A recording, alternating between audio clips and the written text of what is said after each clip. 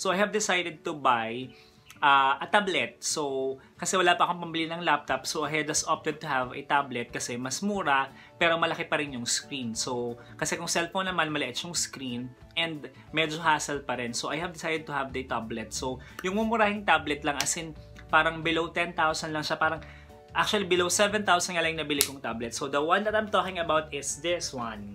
So, yung aking Huawei MatePad T10. So, ito yung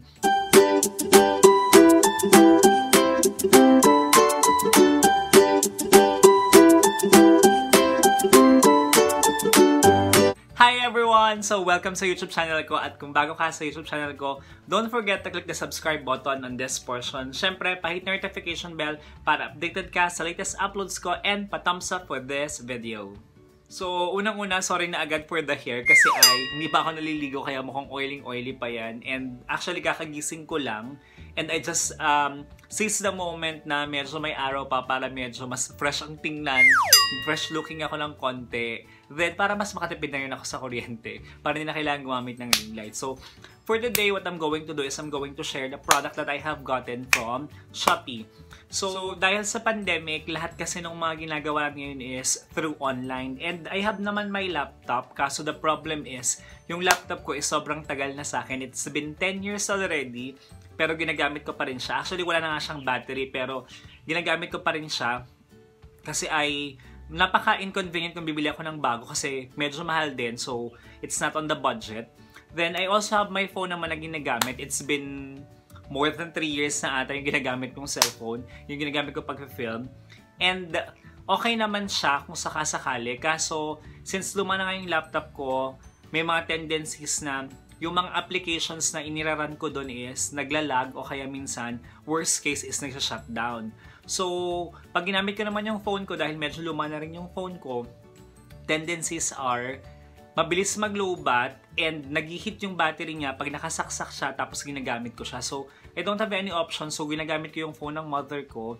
And nakakahiya naman na every time nagagawa ako ng, ng online um, uh, thing ko is, ginagamit ko yung phone ng mother ko. So, baka kasi gagamitin din niya.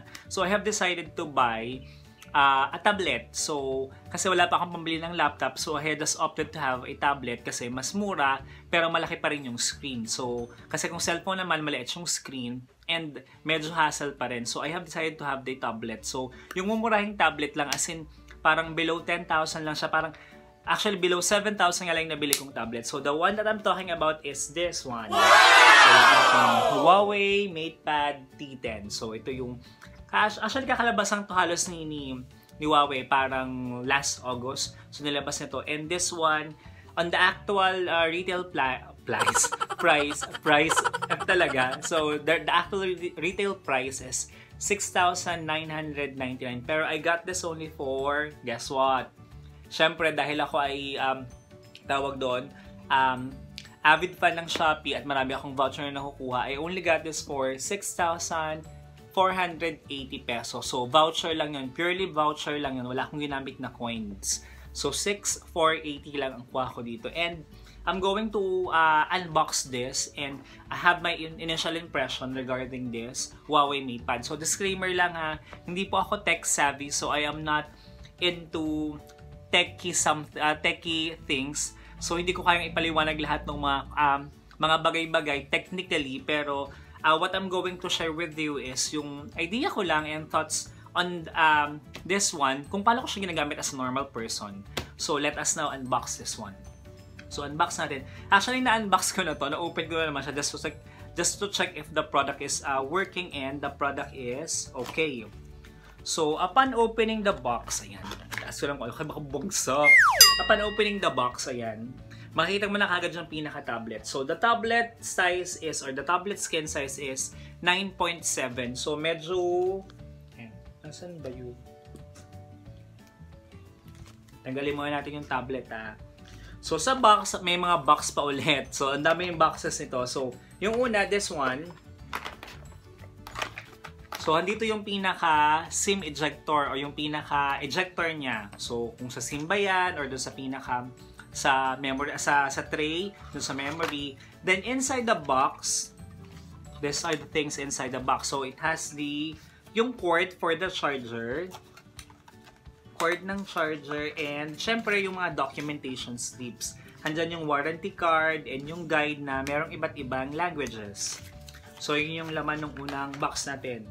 As for the other box, this one, the other box is naka-fix. Yan yung pinaka, uh, ang tawag dito, yung charger head. Ang tagal ko nag-isip eh, no? Nasabi ko sana adapter kasi naman siya kasi adapter. So, yung charger head o yung kanyang power brick. So, yun yung nakalagay dyan. And, doon sa mga box na nandito, design na lang siya kasi talagang wala na siya. Kahit i-open natin. So, it doesn't have anything on it.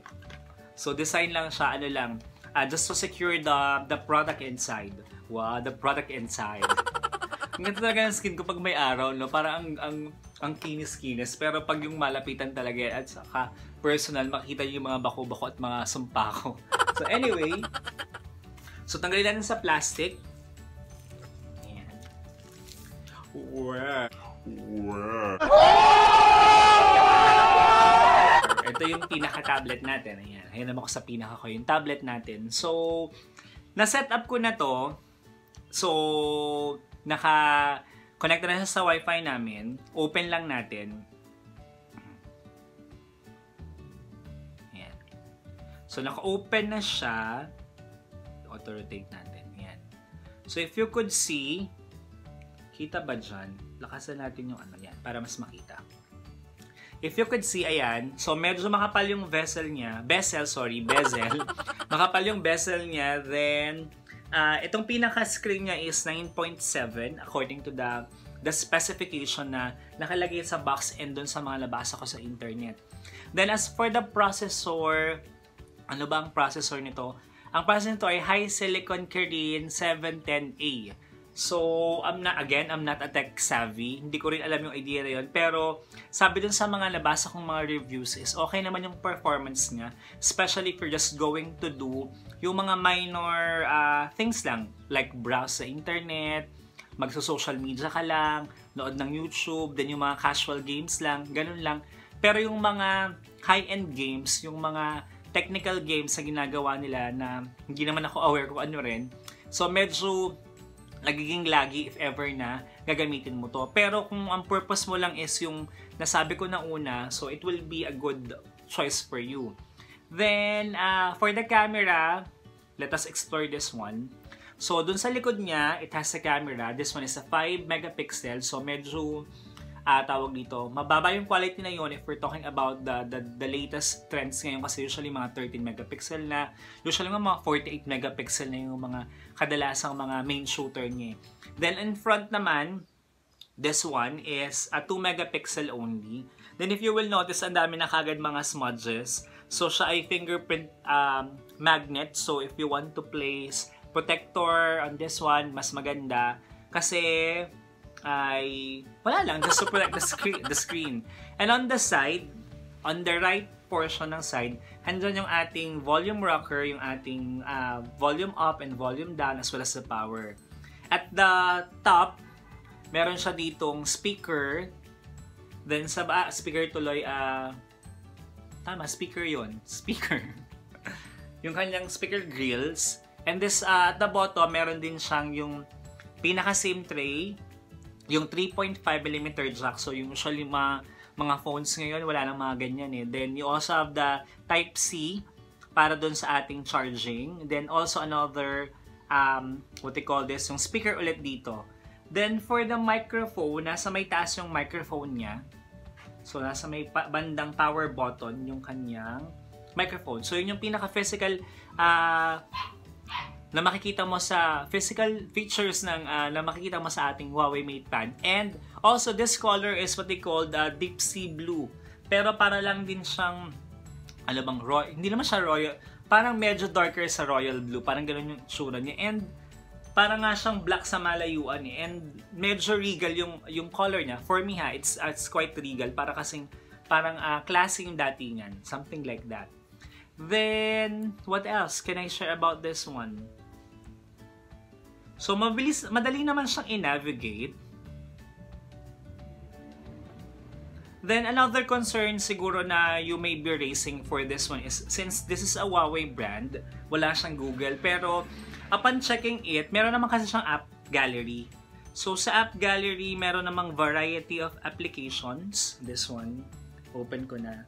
So marami namang variety of applications that you can utilize or you can use na na meron din sa sa App Store sa sa Play Store. So almost the same lang din sila. If ever na meron namang uh, meron meron ka ditong application na wala, meron naman silang tinatawag na petal search. So sa petal search ako naghahanap minsan ng mga applications.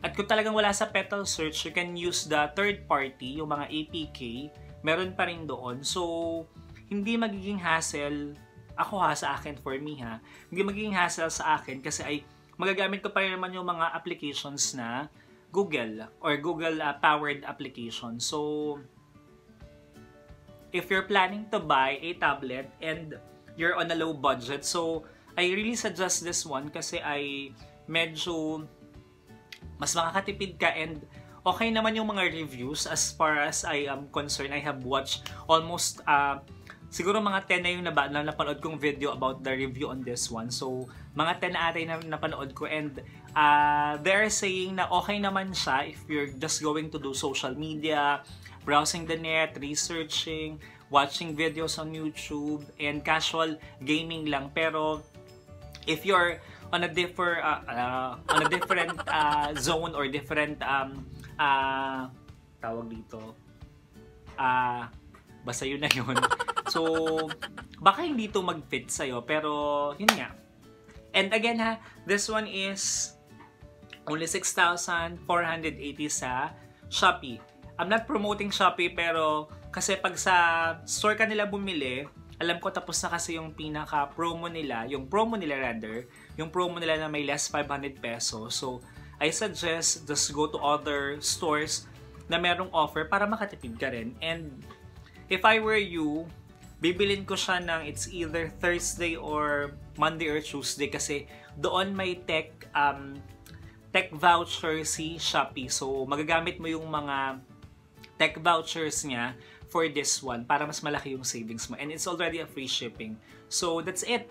I hope na may na-share ako at sana makatulong dun sa mga naghahanap ng tablet and uh, if um, uh, you have other comments and suggestions regarding this one, just feel free to to place it at the uh, at the at the bottom or at the comment box para meron din ako idea regarding your experience on the tablet. So, siguro after a week, I'll be giving another review or another update on this one kung talaga ba naging maganda yung experience ko for the tablet. So, that's it. Thank you for watching!